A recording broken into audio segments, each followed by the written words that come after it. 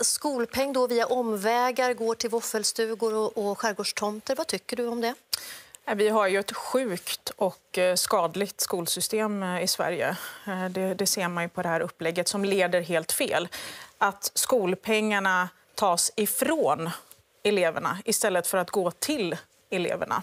Det är det som systemet går ut på. Och det är därför inget annat land i hela världen har följt Sverige eh, och den svenska modellen. Och det ser vi ju effekten av i svensk skola. Kunskapsresultaten sjunker, elever har ingen gymnastiksal, eh, de har ingen elevhälsa, lärarna har ingen behörighet. Eh, det var en elev i Malmö, en av vinstdrivande skolorna där, som gick el och energiprogrammet som sa vi lär oss ju ingenting, vi har bara lediga dagar. Och det här är elever som ska gå ut i arbetslivet och jobba sen. Eh, vi måste ju åtgärda detta omedelbart. Det här är ett hot mot, mot eh, våra elever och barn förstås, men också svensk ekonomi och vår framtid. Mm.